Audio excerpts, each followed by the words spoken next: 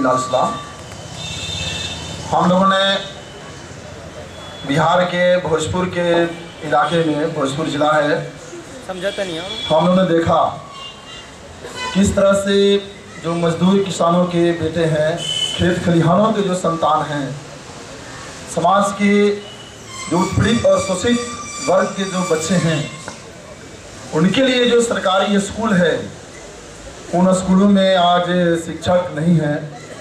उनके हाथों में पुस्तक नहीं है। उनके लिए कोई फंडामेंटल फैसिलिटीज़ नहीं है। यहाँ तक कि वो क्लासरूम भी नहीं, कई स्कूल हैं जिनका अपना ना लैंड है, ना बिल्डिंग है। और ये स्कूल चल रहे हैं। तो इस, एक तरह से इस मुल्क के तकरीबन 80 फ़ीसदी जो बच्चे हैं, जो सरकारी स्कूलों में जिनके लिए जगह है उन स्कूलों में उनकी प्रतिभा को, उनके मस्तिष्क को ये मर्डर किया जा रहा है। ये बिना बंदूक का और बिना बम का मर्डर है। और इसलिए हम लोगों ने स्कूली बच्चों, अभिभावकों को लेकर के, उनके माओ, उनके बहनों, उनके बड़े भाइयों को लेकर के हम लोगों ने सड़क पर स्कूल चलाया।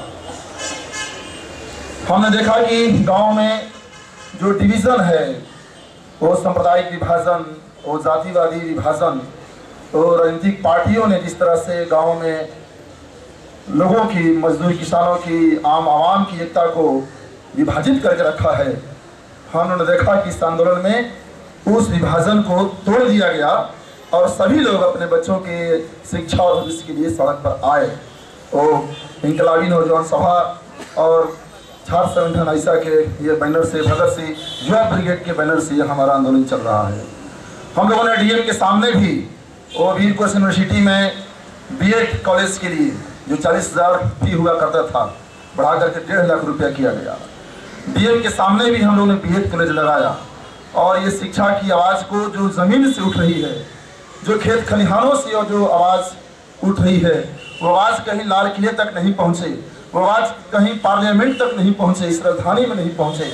उस आवाज़ को दबाने के लिए पूरी हमारी टीम पर ट्वेंटी वन केसेस नीतीश सरकार के पुलिस कर्मियों ने, नीतीश सरकार के एडमिनिस्ट्रेशन ने ट्वेंटी वन केसेस को थोप दिया है ला दिया है। तो इस तरह से पूरा, इसलिए आज ये जो हम लोगों का सात फरवरी को कार्यक्रम है, लाल किला से जो संसद तक मार्च करना है, हमने देखा जब रोहित मेमुल्ला को हैदराबाद सेंट्रल यूनिवर्सिटी में जब मार दिया गया, उस समय हम लोग आरा के जेल में था।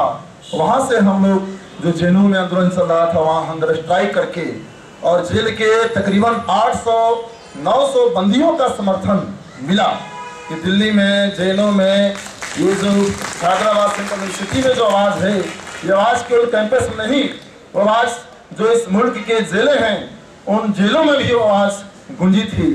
और हमने देखा ये भी कि पी में जो लाठियाँ चली जो देश के लगभग तमाम विश्वविद्यालयों में जहाँ भी शिक्षा की आवाज़ उठी, वहाँ ये मुल्क के हुक्मरान लाठी लेकर के पहुँचे। वहाँ ये बंदूकें लेकर के पहुँचे। वहाँ पर हमारे नौजवानों के, नौजवानों का खून बहा।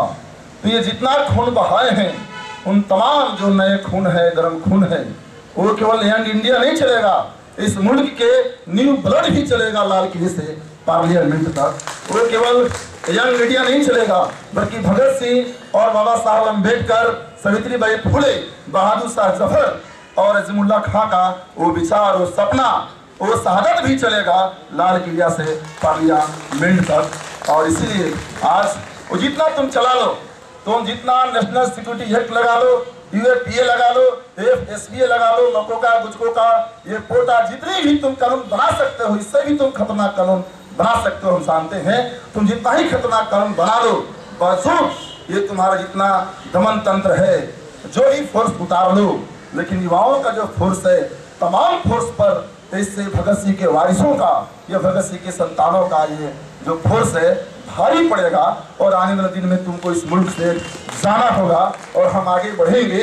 यंग इंडिया आगे बढ़ेगा, और यंग इंडिया के जो ये दुश्मन है, यंग इंडिया को जो दबाना चाहते हैं, मारना चाहते हैं ये एक दिन इतिहास के कूड़ेदान में होंगे और हम लाल किले पर होंगे, पार्लियामेंट पर होंगे, देश के खेल खलिखानों में होंगे, खान खदानों में होंगे। और यही बात कह करके आपको फिर से इनकलाब इस्लाम, इनकलाब जिंदाबाद, यंग इंडिया जिंदाबाद।